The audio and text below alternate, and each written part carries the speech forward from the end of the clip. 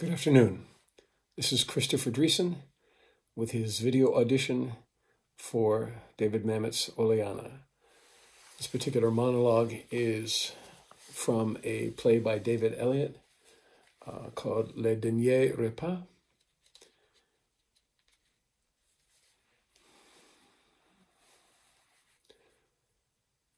There was this girl sitting all by herself at the table on the other side of the room. 23, 24. Very pretty in a plain, unadorned way. Dark, sad eyes. One of the German refugees clinging to the shore, staring across the ocean at inaccessible freedom. There was a small orchestra, locals, I suppose. Not very good by any standard. Keeping together and in time was about the best they could manage. I got up, I went across the room, and I asked the girl if she wanted to dance. I had never done anything like that before, just gone up to a total stranger and asked if they wanted to dance. No, I was always too shy, too afraid of rejection, I guess.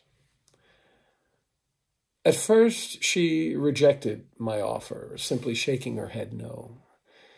She probably thought I was some aging Lothario. I assured her I was a married man with a daughter all my own, not much younger than herself, and I simply wanted to dance. Just one dance, and then I'd be leaving. She hesitated, staring down at her plate as if she were trying to move the food by sheer mental concentration.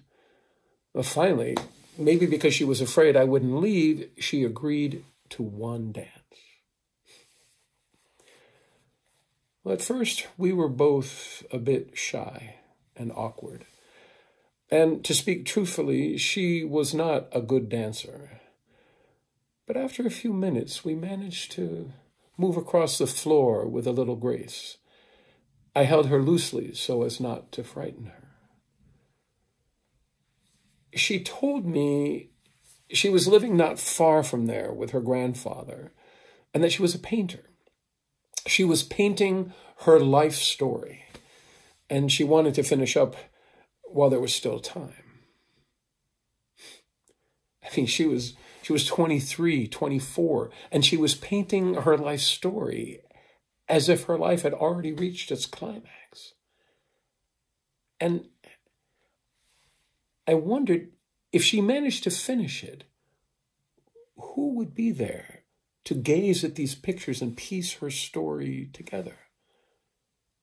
And even if they did, what would they understand? I mean, how could anyone possibly understand a, a 23 or 24 year old that knew that their life was over. I mean, not because of any sickness of the body, but be, simply because they were designated as other. Without the least bit of interest in who you are, what you are, what talents you might possess, what dreams or aspirations live in your soul. I mean, how could anyone understand that?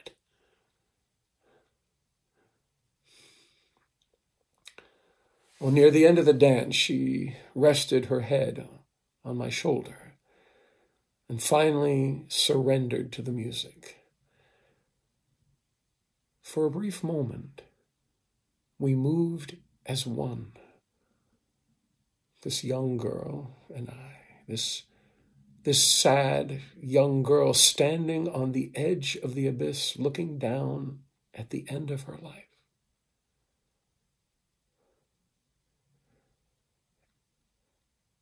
And I could feel her.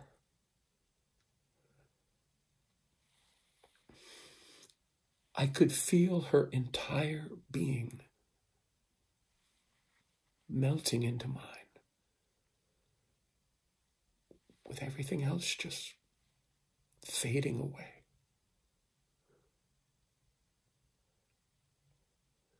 It was one of the most perfect moments I have ever experienced.